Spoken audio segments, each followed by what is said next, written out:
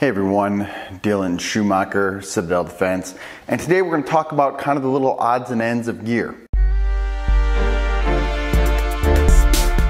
So this is part five on our Minuteman series, and in this one we're just going to kind of cover the, the little stuff that doesn't bear a whole lot of required thinking about, but should take some intentionality and some thought that goes into it because it can make differences to make your life better slash easier. And who doesn't want that? So the first thing we're going to talk about is uniforms, right? Uh, just wearing some kind of uniform. Now, the first thing I'm going to say is you want to pick a, and I use that word loosely, okay, uniform, because you're, basically picking a camouflage shirt. Okay, that's essentially what you're picking, and, and maybe some camouflage pants if you want to go all in.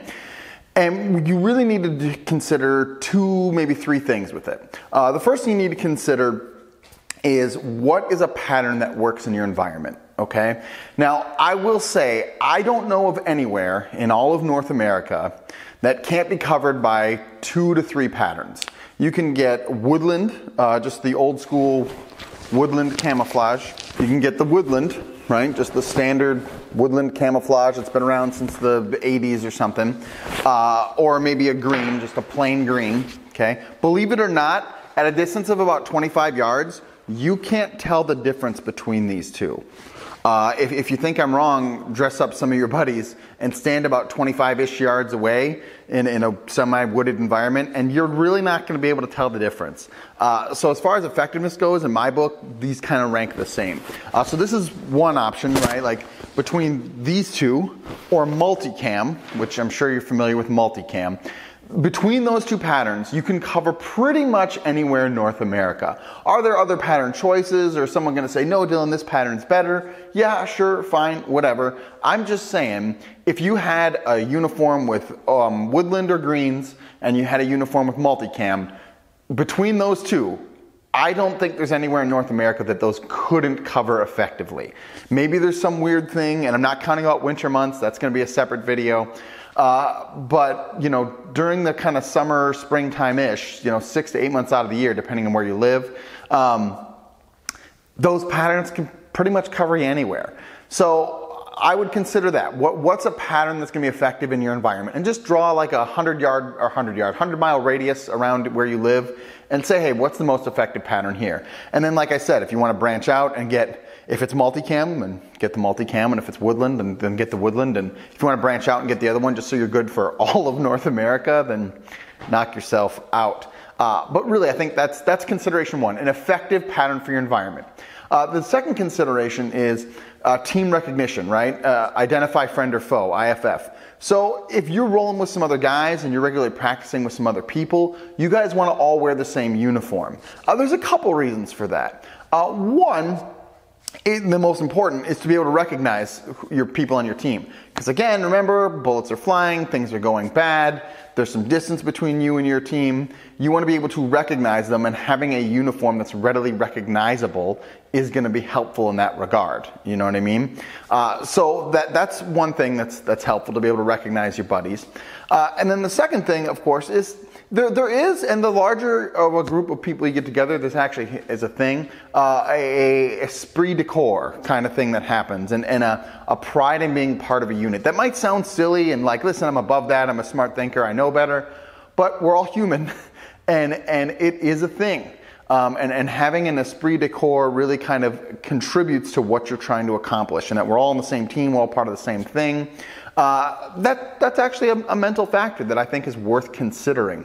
So that's kind of the reason I would recommend a, a, uniform. So like we talked about, you know, I realize we're just everyday American people here and we're just picking stuff that's effective and we're, you know, light infantry, guerrillas, however you want to, however you want to phrase that. But as an everyday American who wants to embrace your martial American heritage, having some kind of uniform for those reasons can be helpful. Uh, the third consideration I would throw in there when choosing uniform is what kind of connects with you? I mean, that, that sounds kind of silly and kind of stupid, but there's a lot of good patterns out there. There's a lot of good patterns. And if you find someone that you like just because you like and it matches your environment, knock yourself out. Go with it. And if you can convince your other buddies in on it, Great. All, so much more the better. Um, so really, I, I, think those are kind of the three main considerations I would look at when I'm selecting a uniform and, and what's going to be the most helpful. Second thing we're going to talk about is boots. Uh, you need a good pair of boots, okay? Now, again, there's lots of options, and it doesn't necessarily need to be a combat boot, right? You could get like a good hiking or hunting boot. But I would recommend something that's gonna come above the ankle, okay? That's gonna be the most helpful for you to get a little bit of extra support. These boots, in case you're interested, are my summer boots, and these are Garmont boots, G A R M O N T. I think they cost me like 130, 140 bucks. I love these boots, I think they're fantastic. They are not waterproof. Most summer combat boots are not going to be waterproof because they're going for breathability. Um, but I like these boots. I would highly recommend, no matter kind of what boots you get, try to get them in a kind of dark brown, that coyote brownish color, because that's gonna blend better than, than just about anything else. So having a good pair of boots, it does make a difference. And you might already have a good pair of hunting boots or whatever, knock yourself out, they're your feet, they're your choice, but just remember, there's something that you're probably putting in miles on. So they bear some consideration and some money. In addition to your summer boots, you of course will need a set of winter boots. Uh, now that's going to be a different video, different thing. And to be honest with you, I don't have a set of winter boots yet that I like, that I'm happy with, that I think would work the best. So different video when we talk about winter considerations. Uh, just general PPE gear. So you're to want a set of gloves. Uh, these are just some Mission First Tactical. Again, there are a gazillion different gloves out there. Buy some gloves that you like that are going to hold up decently, okay? Uh, that's really it. I'm not going to tell you what gloves to buy. There again, you probably already have several pairs of gloves. If you've ever shot a rifle in a class or something, you realize the importance of gloves, if only because the gun gets hot. Uh, and you need some gloves to give you some protection there so you can you can effectively do the class, right?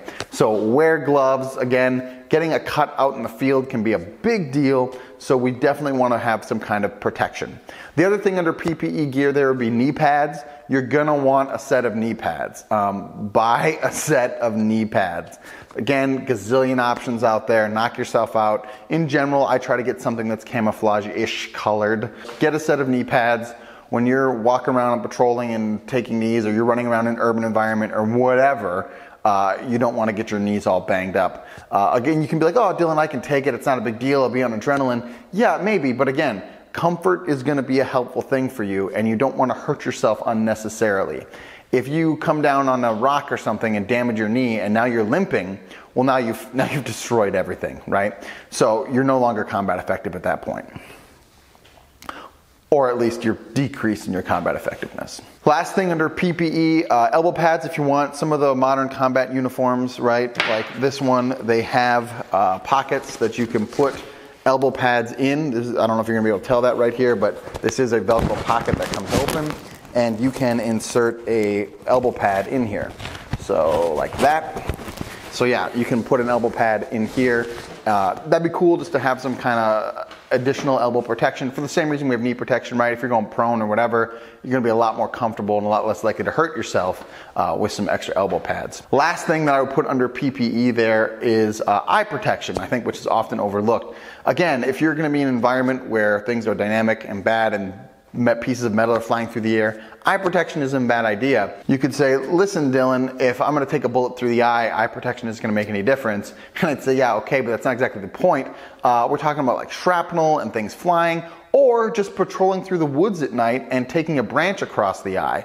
Uh, things like that can happen. So I would highly recommend a good set of eye protection, and I would recommend clear lenses uh, not sunglasses, not something tinted, uh, not some kind of weird yellow enhance your vision thing, just clear lenses.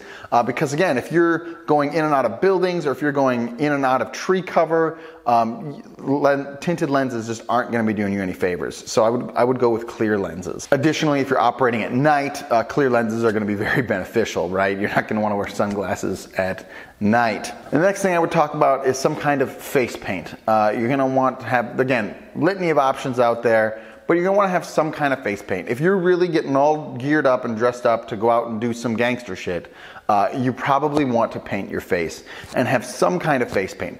Again, especially at night, uh, your face is gonna glow in the darkness, uh, especially if you're lighter skinned like myself, right? So you're gonna want something that's going to cover your face, that, that's going to distort that image. The human brain is programmed to recognize faces.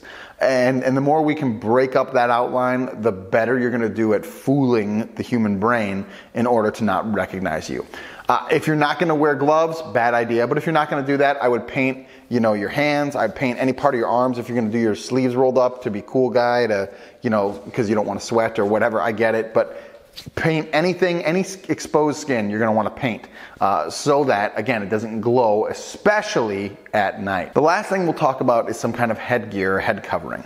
Uh, you got two major options here, right? First thing is you need a head covering. You need a head covering of some kind. Again, going back to that distorting the face and the head is part of that, right? You want, you want to distort that and break that up. So you need a hat to cover that. The second thing is if you're at all balding like myself, again, your head's going to glow. So you're going to want to cover that up. Third thing is hair is actually super recognizable. Um, so you, you, again, you want to cover that up. And you want to cover your head. You need to camouflage your head. And I think that's often overlooked and forgotten about. I would recommend something like a boonie cap, right? These kind of, my wife always makes fun of me for these silly boonie caps, but these do a really good job. They also are going to helpfully keep the rain off of you, which is nice. Uh, or if you just want to go with a simple baseball cap, but something that I would, I would have some self-respect and I would have my hat match my uniform so I look presentable. But some kind of hat in order to camouflage your head. So if you don't want to go the hat route, you can always go the helmet route. Uh, and you can get a ballistic or bump helmet. Uh, I would highly recommend going the helmet route over the hat route, and there's a couple reasons for that. One, I would say get a ballistic helmet, okay? This is a Hard Head Veterans helmet. Uh, I think it was 500 bucks, 550, something like that. I'm not sure what they're going for now.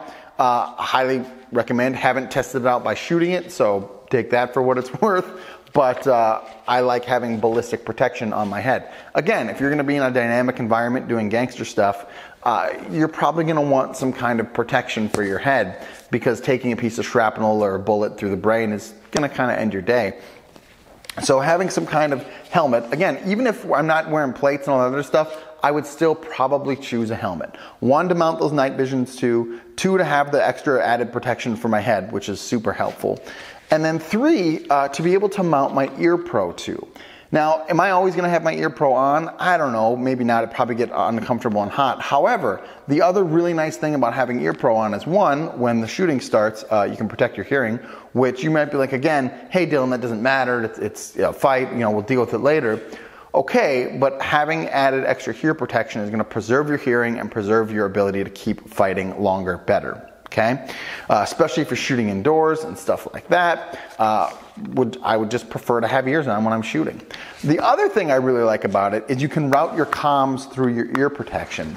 And so your radio now becomes a silent tool. With having your comms secured in, in, in that sense, meaning just routing directly into your ear pro, is going to allow you to be a lot quieter and your radio won't be going off or you won't get a radio transmission at a really inopportune time for you uh, but it'll be a lot quieter so i'm a big fan of having a helmet for all those reasons uh, that i can mount the accessories of the ears and the night vision to and use this really as a platform to increase my capabilities Again, it also protects me from being shot. Now, if you want to go the cheaper route and just get a bump helmet, you can totally do that. You know, again, knock yourself out.